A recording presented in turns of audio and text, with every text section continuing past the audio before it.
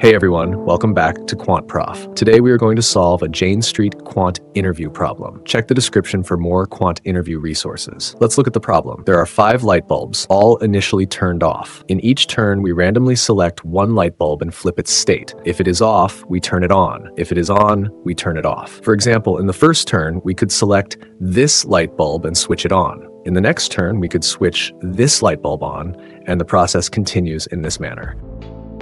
So, if all bulbs are initially off, what is the expected number of turns until all bulbs are off again? Pause the video here if you want to give it a try. We will use recursion to solve the problem. Let EI denote the expected number of turns to reach the all bulbs off state if I bulbs are on currently. For example, E2 represents the expected number of turns required for all bulbs to turn off again, given that the initial state has two bulbs turned on.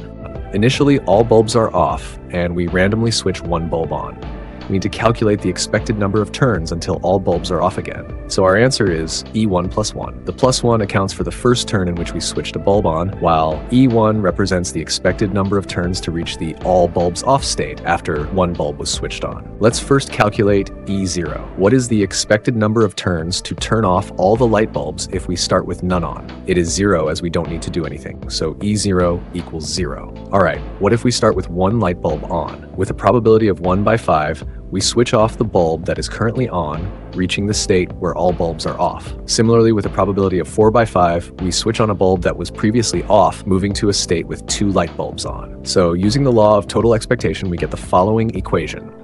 The first term represents the case where we switch off the bulb that is currently on and move to a state where all bulbs are off.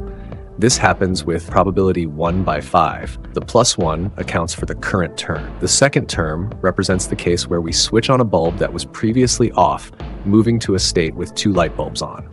This happens with probability 4 by 5. Again, the plus 1 accounts for the current turn. Similarly, we can derive equations for other starting states in the same manner. Solving this system of equations, we find E1 equals 31. So the final answer is 32. Let's consider another problem. We have a 5 cross 5 grid, so there are 25 squares.